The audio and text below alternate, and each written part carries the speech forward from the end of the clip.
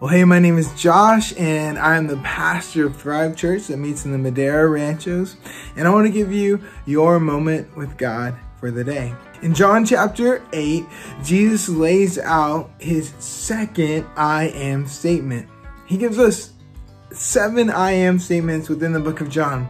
And the hope is that we, through knowing who he is, can better understand who we are last uh, the last I am statement he gave was I am the bread of life and and today he reveals to us that he is the light of the world. He says I am the light of the world.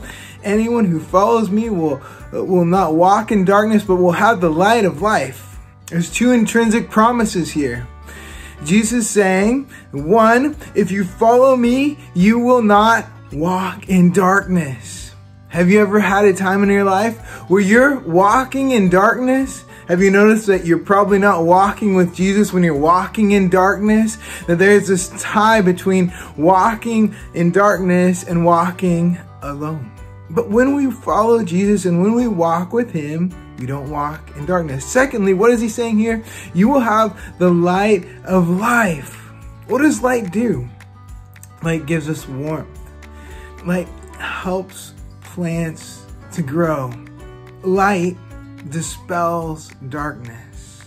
Is there darkness in your life that's overcoming your life? See, look, I just want to tell you this that true life begins when we let the light in. Where are the places in your life that you need to let the light of life in? Maybe you can just pray right now in this moment, Jesus, let the light of life into every aspect of my life. Have a blessed day.